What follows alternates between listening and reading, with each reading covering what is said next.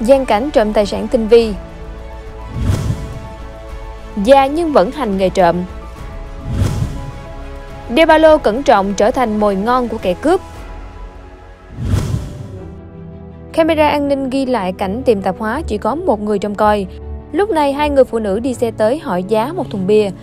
Sau đó cả hai đi khoảng 30 phút mới quay lại mua nửa thùng và 10.000 nước đá mang về. Khi chủ tiệm mở thùng lấy đá, một người phụ nữ bước xuống yêu cầu chặt nhỏ đá ra giúp.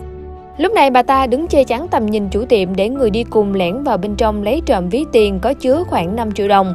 Sau khi thành công cả hai cùng tẩu thoát. Cứ ngỡ người đàn ông lớn tuổi này là khách vào quán uống cà phê, nên chủ tiệm không hề cảnh giác. Lợi dụng lúc chủ quán đi vào trong, ông ta lẻn vào lục lọi tìm đồ, sau đó phát hiện ra một chiếc điện thoại đang để trên kệ. Ông ta đã lấy chiếc điện thoại giấu ngay vào túi áo và rời đi nhanh chóng. Vụ việc một lần nữa là lời cảnh báo mọi người cần chú ý cẩn thận bảo vệ tài sản của mình. Để tránh như vụ việc này, vụ việc được ghi nhận tại thành phố Dĩ An, tỉnh Bình Dương.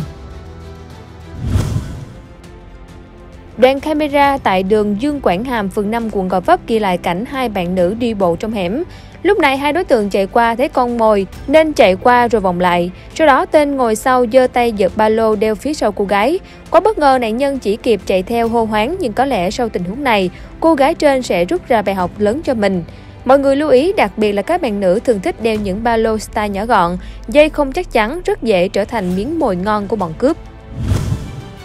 Vào khoảng 2 giờ 30 phút ngày 23 tháng 12 tại khu phố 1 phường Vũ Long, Biên Hòa, Đồng Nai, thấy chiếc xe ba gác để bên ngoài mà không người trông coi, hai đối tượng này đã tới đẩy xe đi một cách dễ dàng. Còn tại Mã Lò, Bình Tân, thành phố Hồ Chí Minh vào trưa ngày 23 tháng 12, chiếc ba gác dựng bên ngoài cũng bị hai đối tượng trên lấy cắp mà không một ai hay biết.